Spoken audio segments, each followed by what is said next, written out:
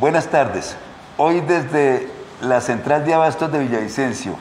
22 de junio a las 4 pm, eh, debo informarle a toda la comunidad villavicense y metense que eh, hoy estamos desarrollando una actividad de preventiva del lavado y desinfección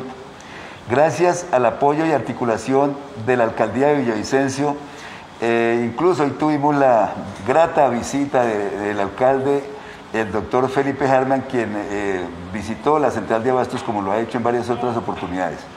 Con el apoyo y la articulación de todo su equipo de gobierno,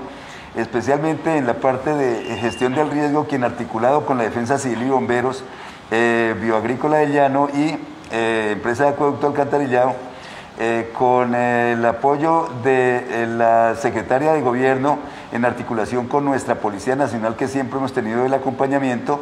y con todas las dependencias, pero especialmente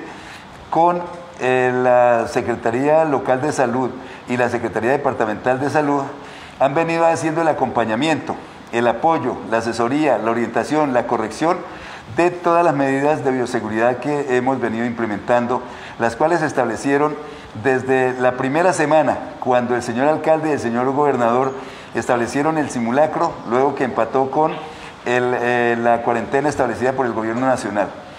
Respecto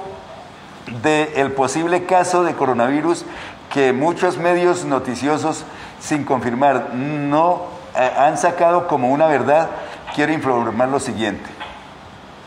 Efectivamente,